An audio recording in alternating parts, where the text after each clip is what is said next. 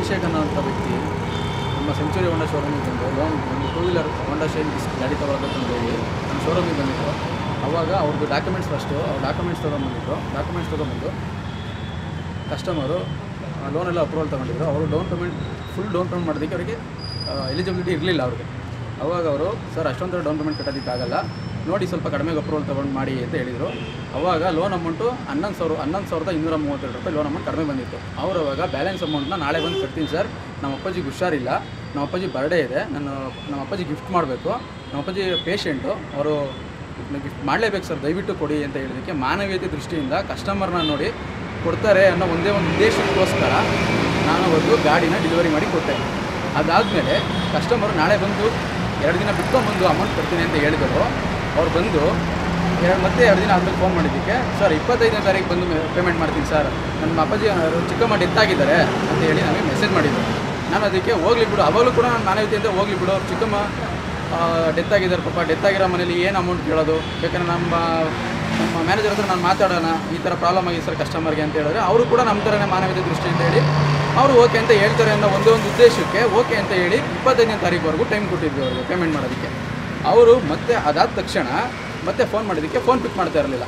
ಮತ್ತೆ ಒಂದು ಮೂರು ತಿಂಗಳು, ಬರೀ ಕಂಟಿನ್ಯೂಸ್ ಅಲ್ಲಿ ಕಂಟಿನ್ಯೂಸ್ಲಿ ಒಂದು ನೂರು, ನೂರೈವತ್ತು ಸರಿ ಫೋನ್ ಮಾಡಿದ್ವಿ ಕಸ್ಟಮರ್ಗೆ ಕಸ್ಟಮರ್ ಕೂಡ ಯಾವುದೇ ರೀತಿ ರೆಸ್ಪಾನ್ಸ್ ಮಾಡ್ತಿರಲಿಲ್ಲ ಅವ್ರು ಫೋನ್ ಮಾಡಿದಾಗ ಕೂಡ, ಅವ್ರು ಯಾವಾಗಲಾದ್ರೂ ಫೋನ್ ಮಾಡಲಿ ಮೆಸೇಜ್ ಮಾಡ್ತಾಯಿದ್ರು ಆಮೇಲೆ ಮಾಡ್ತೀನಿ ಸರ್ ನಾಳೆ ಬಂದು ಪೇಮೆಂಟ್ ಮಾಡ್ತೀನಿ ಸರ್ ಅಂತ ಹೇಳಿ ಮಾಡ್ತಾಯಿದ್ರು ಮತ್ತು ನಾವು ಶೋರೂಮಲ್ಲಿ ಕೂಡ ಯಾವುದೇ ರೀತಿ ನಾವು ಏನು ಮಾಡೇ ಇಲ್ಲ. ಕಸ್ಟಮರ್ಗೆ ಬರೀ ಫೋನ್ ಮಾಡಿ ಕೇಳಿರೋದಷ್ಟೇ. ಸರ್ ಬನ್ನಿ ಪೇಮೆಂಟ್ ಮಾಡಿ ಅಂತೇಳಿ ಅವರು ಪೇಮೆಂಟ್ ಮಾಡೋದಕ್ಕೂ ರೆಡಿ ಇಲ್ಲ. ಮತ್ತು ನಮಗೆ ಶೋರೂಮ್ ಹತ್ರ ಬಂದು ಗಾಡಿ ರಿಜಿಸ್ಟ್ರೇಷನ್ ಮಾಡಿಸ್ಕೊಳ್ಳೋಕ್ಕೂ ರೆಡಿ ಇಲ್ಲ ಅವರು. ಗಾಡಿ ಅವತ್ತು ತಗೊಂಡೋಗಿರೋರು ರಿಜಿಸ್ಟ್ರೇಷನ್ಗೂ ಕೂಡ ಬಂದಿಲ್ಲ ಅವರು. ಸರಿನಾ?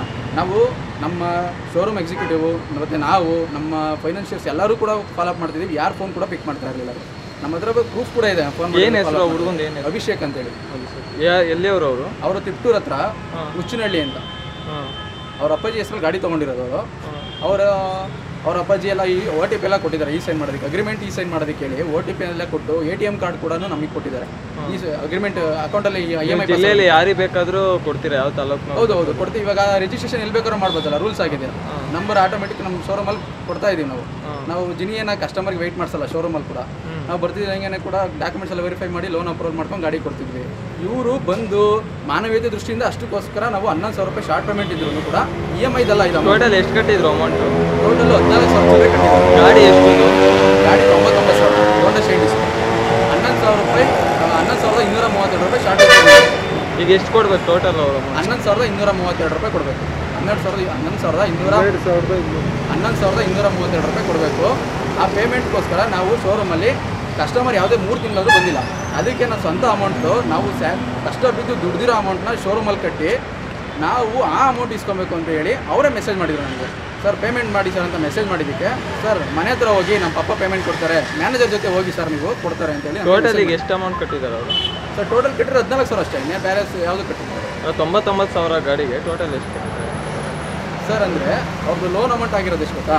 ಹಾಂ. ಒಂದು ಸೆಕೆಂಡ್ ಸರ್ ಇಲ್ಲೇ ಇದೆ ಚೆಕ್ ಮಾಡಿ ಹೇಳ್ತೀನಿ ಸರ್ ಎಪ್ಪತ್ತೊಂಬತ್ತು ಸಾವಿರದ ಐನೂರ ಎರಡು ರೂಪಾಯಿ ಲೋನ್ ಆಗಿರೋದು ಅವರು ಓಕೆ.